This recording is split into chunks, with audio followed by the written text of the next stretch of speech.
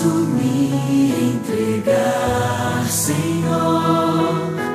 Preciso a ti me entregar. Preciso ouvir tua voz.